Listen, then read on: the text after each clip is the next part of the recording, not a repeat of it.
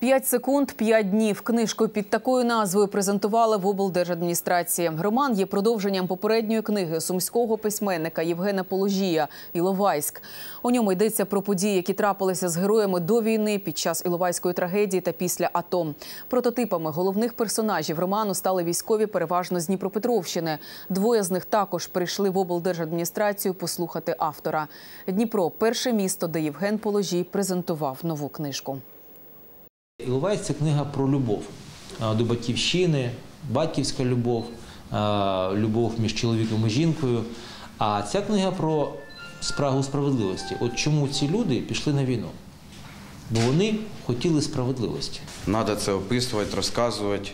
Тому що багато, як то кажуть, у нас людей, які не знають, з ким ми воюємо, за що ми воюємо Таке, ну воно то й понятно, що за кого. Ну за кого? За сім'ю, за свою, за дом, за свій, за того, хто не пішов захищати свій будинок, свою сім'ю. Я пішов.